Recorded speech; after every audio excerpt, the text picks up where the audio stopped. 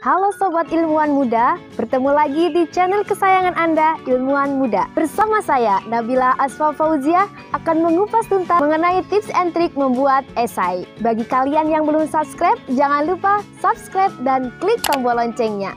Selamat menyaksikan!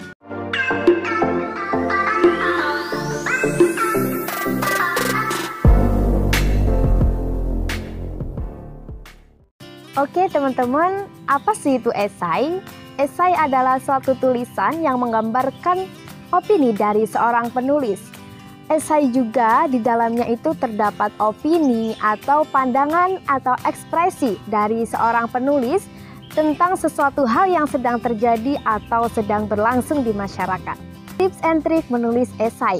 Yang pertama, kita harus memahami hal atau sesuatu yang akan kita bahas dalam esai kita. Yang kedua, setelah kita mengetahui apa yang akan kita bahas, misalnya kita mau membahas mengenai perekonomian Indonesia, kita bisa memulai dengan pendahuluan. Pendahuluan itu berisi tentang latar belakang, informasi-informasi yang akan kita bahas.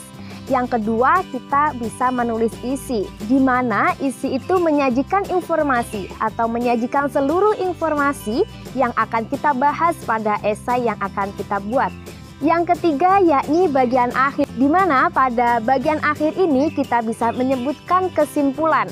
Biasanya kesimpulan itu bisa kita dapatkan melalui ide pokok atau ringkasan dari isi materi dan juga bisa menambahkan observasi-observasi lainnya. Yang selanjutnya tips and trick presentasi dalam esai. Yang pertama, pahami dan kaji lebih dalam mengenai esai yang dibuat. Bisa persiapan membaca atau mencari informasi-informasi terbaru di Google atau media sosial lainnya. Yang kedua, yakni menyiapkan beberapa jawaban mungkin nantinya akan ditanyakan oleh tim penguji. Yang ketiga yakni tenang. Tenang di sini mungkin sebelum presentasi kalian bisa tarik nafas terlebih dahulu, mempersiapkan apa yang akan kalian baca dan jangan grogi. Tetap santai dan enjoy dan berpikir positif, jangan takut salah. Yang terakhir yakni fokus. Fokus mempersiapkan apa yang akan kalian sampaikan atau presentasikan. Mungkin dengan menyiapkan naskah atau skrip yang akan kalian gunakan, kalian baca atau hafalkan ketika presentasi di depan tim penguji. Kemudian kalian bisa fokus ketika sedang ditanya oleh para tim penguji agar kalian bisa menjawabnya dengan profesional dan tepat. Yang terakhir, untuk memotivasi teman-teman agar semangat menulis esai, ada sedikit kutipan dari seseorang yakni Bill Cosby dalam meraih kesuksesan, kemauan Anda harus lebih besar dari ketakutan akan kegagalan. Dalam artian, kalian jangan takut untuk mencoba, jangan ragu untuk memulai. Bila kalian takut untuk mencoba atau ragu untuk memulai, maka kalian akan sulit bergerak dan akan ketinggalan oleh teman-teman kalian yang mungkin sudah berhasil melawan ketakutan tersebut. Jadi, yuk tunggu apa lagi? Mulailah melangkah dari sekarang, jangan takut kegagalan dan raihlah kesuksesan. Oke sobat ilmuwan muda, itu tadi sharing mengenai tips and trik membuat esai. Jika kalian bingung, kepo, atau mau ada yang ditanyakan, bisa langsung aja tulis di kolom komentar atau bisa DM ke akun pribadi saya, at nabilah underscore asfafa. Jangan lupa like, comment, and share ke teman-teman kalian agar lebih bermanfaat. Oke, sekian. Salam dari kami, salam ilmuwan muda. Lupa like and share. Jangan lupa like, comment, and share ke teman-teman kalian agar lebih bermanfaat. Sekian, salam dari Oke, sekian. Oke, sekian salam dari kami, salam ilmuwan muda. Oke. Ye, alhamdulillah.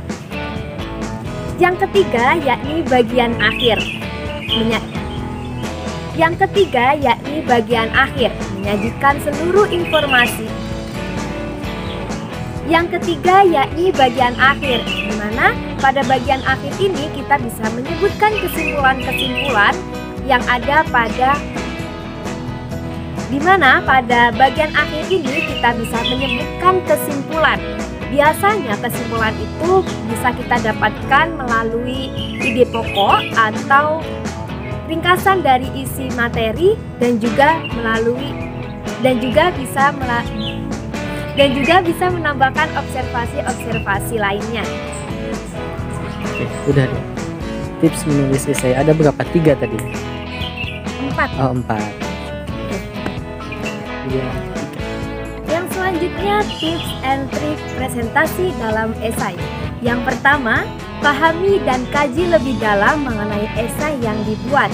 Bisa persiapan membaca atau mengkaji lebih dalam meng atau mencari informasi-informasi terbaru di Google atau media sosial lainnya. Yang kedua, yakni menyiapkan beberapa jawaban yang nantinya mungkin akan mungkin nantinya akan ditanyakan oleh tim penguji. Yang ketiga, yakni tenang.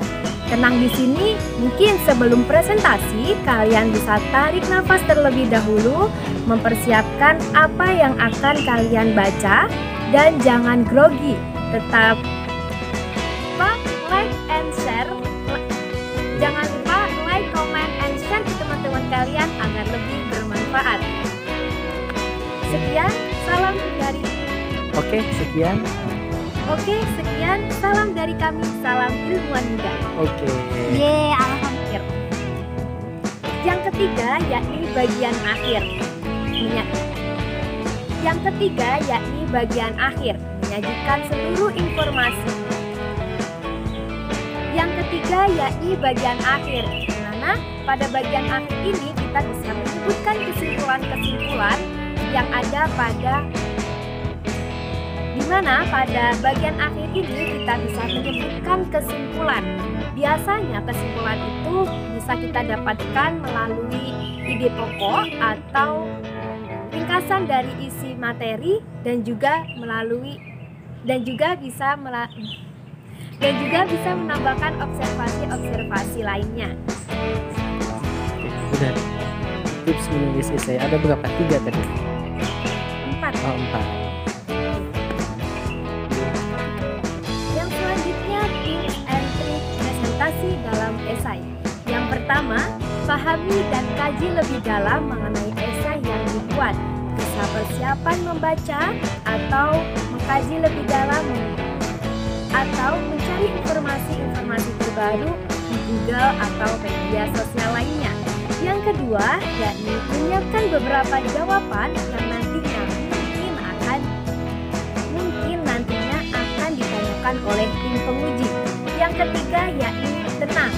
Tenang di sini mungkin sebelum presentasi kalian bisa tarik nafas terlebih dahulu, mempersiapkan apa yang akan kalian baca dan jangan grogi. Tetap